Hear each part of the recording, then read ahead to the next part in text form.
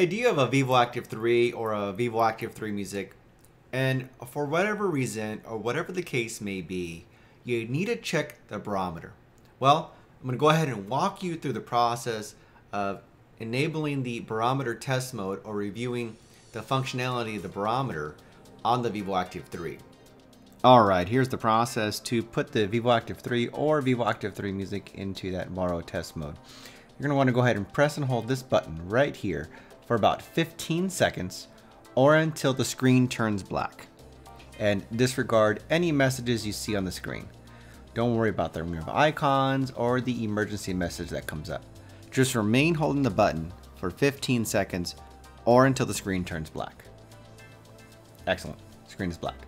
Now we're gonna press and hold the button for about three seconds and then let go. And then we're going to press and hold the button again continuously until it vibrates three times.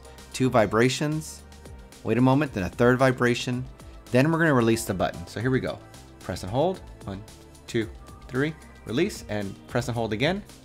And we're waiting for the vibrations. There it is, three vibrations and I'm letting go.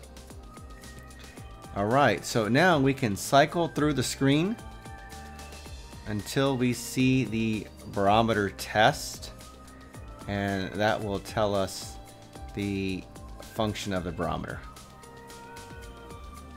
And there it is. Uh, barometer test and mine says valid and gives me some other basic information.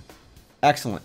Now to get out of this test mode, we're going to cycle through the screen again until we see the power off sequence.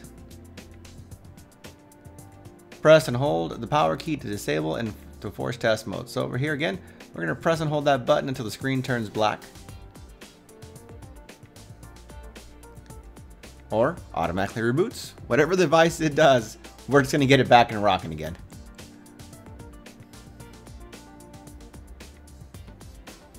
And that's it. It's back up and running.